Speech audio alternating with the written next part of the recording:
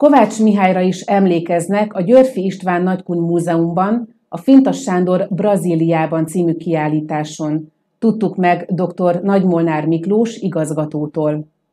Az időszaki teremben látható egy sarok, amelyben a karcagi születésű Kovács Mihálynak állítanak emléket. Fintas Sándor is foglalkozott Kovács Mihály huszárezredes életútjával.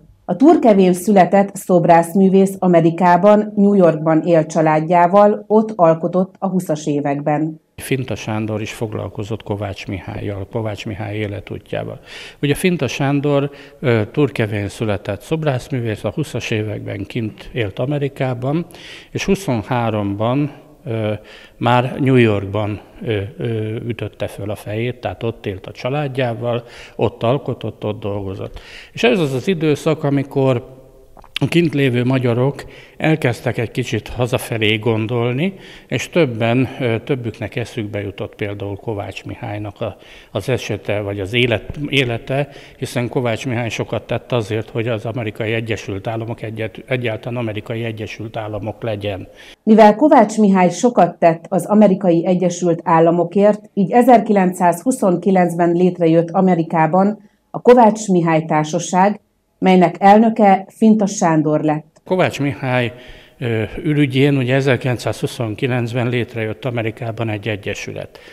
Kovács Mihály Társaság címszóval, ennek az elnöke Finta Sándor lett.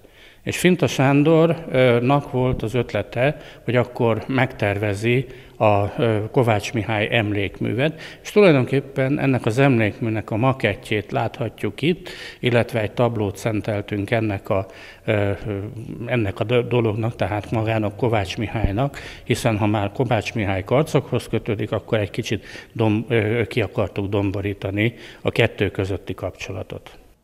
Ő tervezte meg Kovács Mihály emlékművet, aminek a makettje is látható a múzeumban, valamint korabeli fotók a karcagi hősről, akire az USA szenátusának döntése alapján több mint fél évszázada külön emléknapon idézik fel a kint élő magyarok Kovács életútját. A kint élő magyarok, nem csak Finta Sándor, hanem a kint élő magyarok ugye ezt a hagyományt ezt föltámasztották, illetve kialakították, és azóta tudjuk, hogy Amerikában nemzeti hős Kovács Mihály.